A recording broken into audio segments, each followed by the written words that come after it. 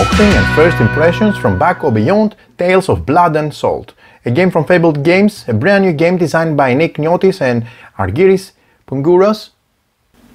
This is a designer duo behind Darkest Dungeon, a brand new game with a lot of positive feedback so far from players who tried it. And uh, this is the first game from Fabled Games, so very much looking forward to check what uh, this um, uh, new publisher is going to offer. First of all, this is a game for 2 to 4 players that takes around 60 to 120 minutes, ages 14 and up, and uh, it's a game that it falls under the categories of adventure games, fantasy with pirate theme. Uh, the game has uh, a plethora of uh, mechanisms that uh, are happening during gameplay, and uh, these are no other than uh, dice rolling, dice cycle resolution, endgame bonuses, events, income, market, selection order bid. It has take that element, it has worker placement with different worker types, and um, lots of different things, as well as card driven battles. So, uh, let's uh, dive into the prototype. Be aware that this is a work in progress. This is still a prototype. Uh, I'm just uh, happy to see that publishers nowadays uh, really do try to take care of their prototypes as much as possible, but still this is far from uh, the final production a sample. This is going to be changed uh, possibly in terms of sizes of components. Uh, a lot of art uh, is still pending uh, because uh, it's in progress as we speak from what I hear. And uh, there's going to be a lot of information throughout the campaign page of the crowdfunding campaign, pa campaign page, which I'm going to add in the link of the description below. This is just focusing, this video is just focusing on the components. So check them out together with me as I'm opening for the first time this box and we're going to come back with a separate how to play review video where after I had a, a few sessions with the game I'm going to share my honest opinion about how it feels playing the game, uh, what, are, uh, what are the pros and uh, the highlights that make it stand out from the rest, if any, and uh, discuss about uh, also how to play, put timestamps and put explain the rules of the game. So this is again prototype as you can see. So let's dive in and open uh, the box together.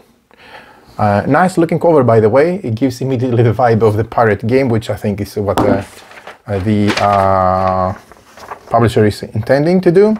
Some information from Fabled Games.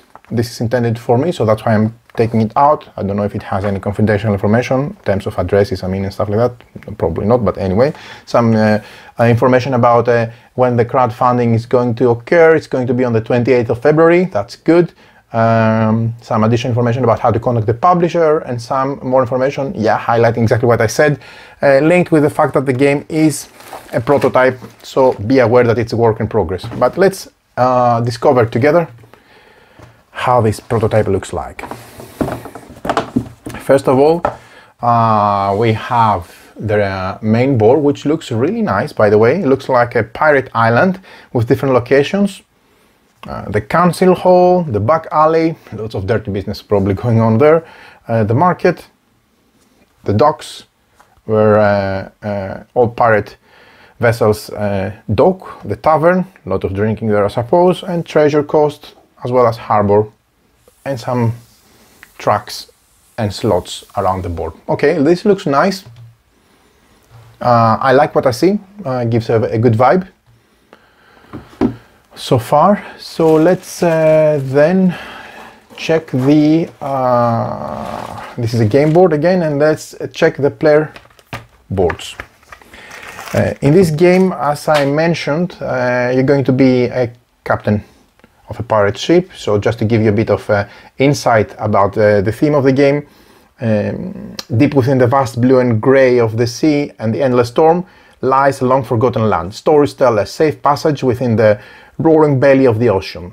Legends tell that hiding behind rocks, clouds, and unforgiving force of the sea lies an island, an island pirates call home, a place where dreaded captains spend their down uh, time trading and in the marketplace, drinking spiced rum. Mm, I want to try that one. In the tavern, testing their reputation at the council hall, or mingling in mischief in the back alley. Seek infamy and become the most dreaded pirate captain? Yeah, Sounds about right. Create a powerful ship by carefully selecting and managing your crew. Do battle and plunder ships uh, full of loot and make a fortune that no living man has ever made. And when you're tired, come back to the only land you feel safe for you to rest and get ready for your next adventure. What treasures will you find? How many ships you'll capture? Will your crew look like uh, up to you or start a mutiny? Will the sound of your name bring fear? There's only one way to find out. So embark and live a pirate life and get ready to sail to Back O' Beyond. Okay, sounds pretty pretty interesting. Uh, the game um, is going to be explained as a separate video as I mentioned. I hear that it has a lot of engine building, has a lot of uh, uh, managing your ship, your crew, uh, your resources, making worker placement, uh, making tough choices, and uh, I heard it's a fun gameplay that comes with this one, so really much looking forward to discover it. So these are the player boards. As you can see, we have four player boards which are colored with slots for the crew members, I suppose, the different tracks. Uh, we're going to explain them later. Here is a portrait of the captain that goes in this spot. These are boards again. Uh, and uh, uh, we're going to discuss a bit on the anatomy of the boards, but I'm not going to spend time now with this. I'm just mainly going to focus on the specific item breakdown and component breakdown so that we can uh, do that on the next video where we're going to uh, focus also on the components of the game. So, one, this is a blue shark, this is a black manta, nice. This is a red dragon. But these are the names of uh, the vessels. And this is a setting sun. And how appealing this is orange. Yeah, makes sense. Okay, so uh, four player boards, one for each player. Okay, so I'm going to put those to the side so they don't uh, mess with the rest of the components. We have dice, okay, so this is prototype, so it's uh, dice with stickers. Uh, so we have to follow the campaign to see how the, these dice are going to look like. We're going to have six boarding dice. And we're going to have, yeah, these are the boarding dice.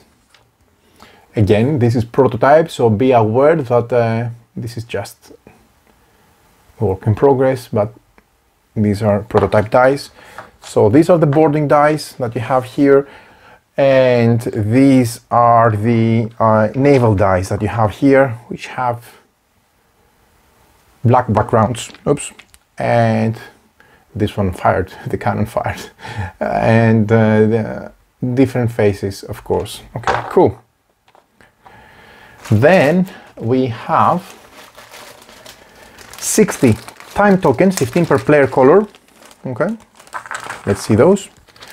Uh, these are tokens that depict the player color in the background and a sunglass. Okay.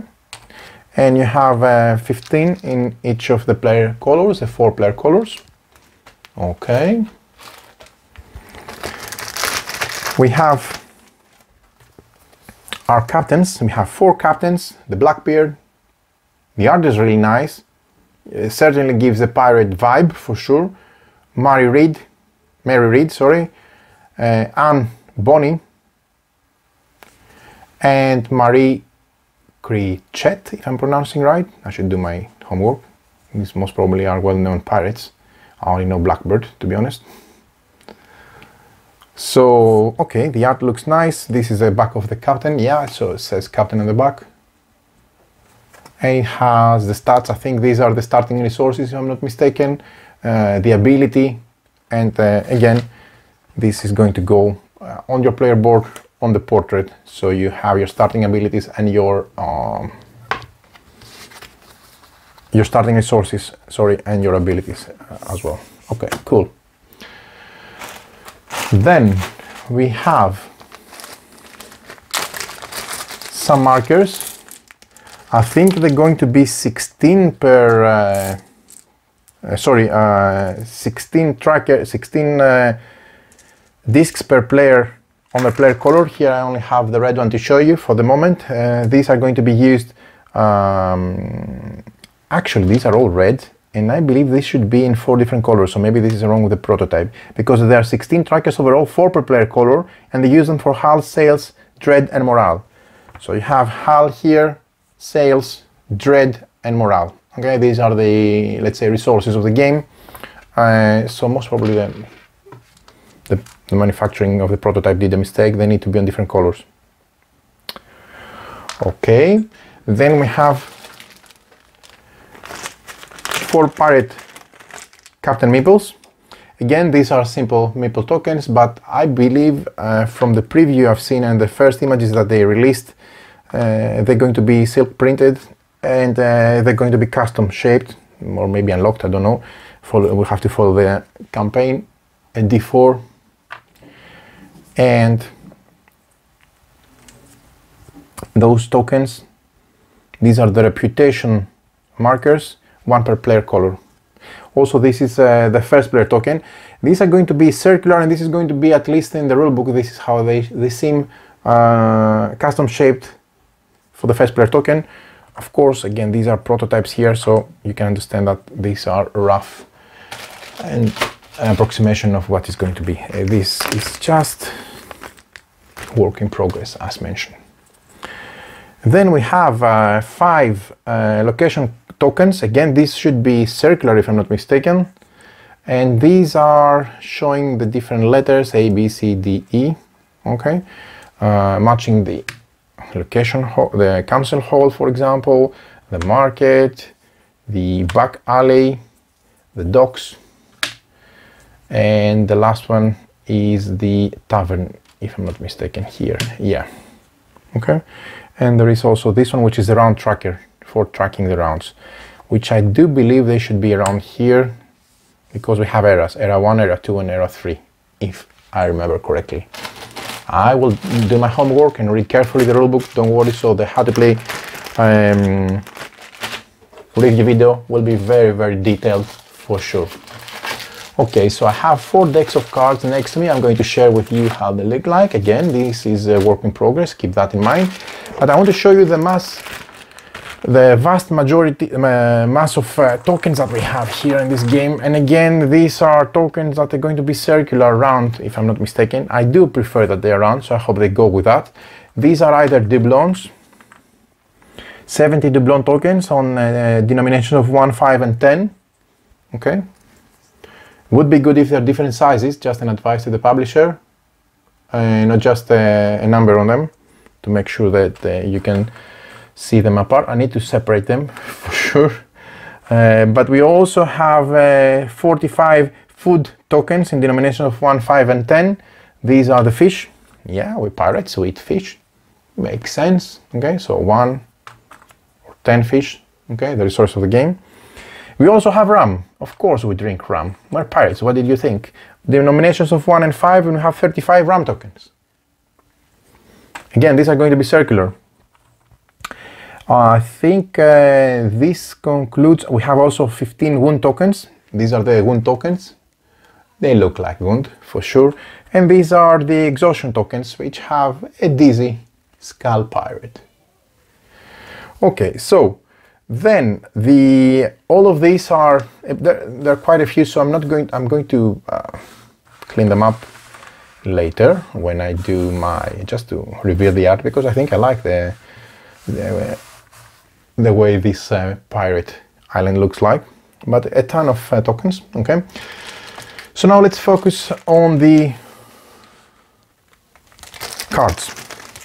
The game comes with a lot of cards. There are 14 treasure cards, 37 council uh, request cards, 19 sabotage cards, 19 event cards, 30 trade ship cards, and 27 crew cards, as well as eight starting crew cards. Okay, so let's take everything out of the zip lock baggies. And let's see, first of all, the uh, 37 council request uh, cards. These have this back. Again, I like the way there's a dark, uh, I don't know, um, shade or something uh, on, on this. It's uh, they're pirates. They need to be dread. Okay, so it's I like when I see pirate games with uh, dark color or dark aesthetics. Uh, they shouldn't be, I don't know, vibra uh, vibrant, uh, uh beautiful colors because they're pirates, all right? So, okay, these are the different um, request uh, cards. Again, there is a big variety of cards. Uh, I know for sure that they're working a lot on the on the art, so the art is not final. The art is going to change on a lot of the cards, so you have to follow together with me. the crowdfunding page for details and updates because this is going to be the latest. And I think they're going to most probably unlock a lot of uh, stretch goals if I foresee right. So these are the council request cards, 37 um, in total. Okay, so let's put them there. Then we have 30 trade uh, ships. So 30 trade ships uh, which are uh, cards with different stats as you can see, different name and different values. Okay, and these uh, are broken down in eras, era 3, era 1 and era 2 as you can see.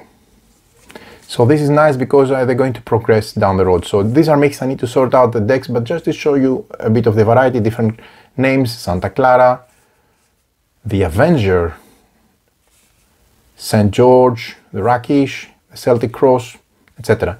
It would be interesting to know and maybe ask the publisher if these are real names of pirate ships or at least vessels. Uh, because they sound like it That'll be really cool. Here you can see also uh, the era or the age, how it's called, I don't remember. But there is a variety of uh, trade ships and they all form up the deck on the three different levels, let's say. So let's put those here as well. We have the sabotage cards. These are 19 cards. They say sabotage and they have a knife stabbing a hand, so cool, on the back. Uh, one crew member, minus uh, morale, minus uh, sails or hull, you know, things that are happening via sabotage. I'm supposing this is a, a, part of the interaction between players, messing up with the other players. So this is cool. We are pirates, okay? We're not honored uh, captains or something. So maybe we are, I don't know. The event cards. These are the event cards, the 19 event cards. They have nice art and they the different things like no wind, joyful day, injured crew, a variety of things that you would expect from uh, an event deck.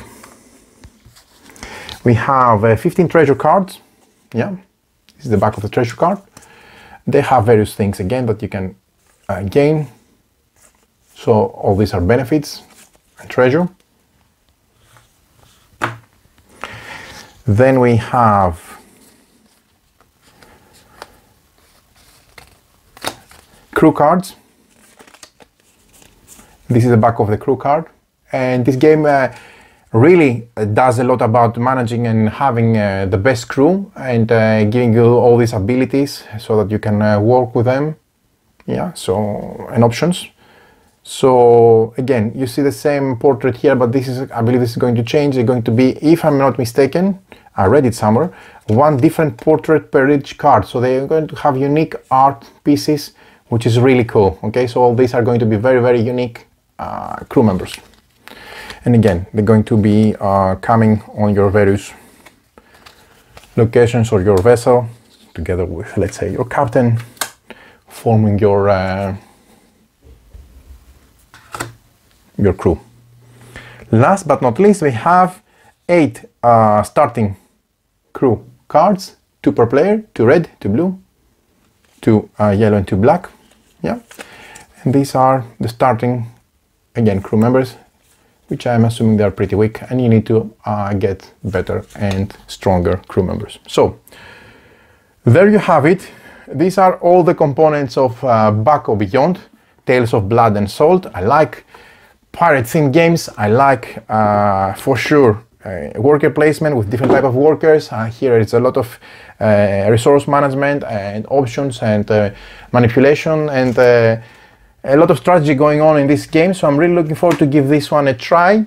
so stay tuned for more material that is going to come up. we're going to make more content about the game. how to play review a video is going to come and follow uh, so that you can learn more about how the game plays and our impressions about Back O' Beyond Tales of Blood and Salt. So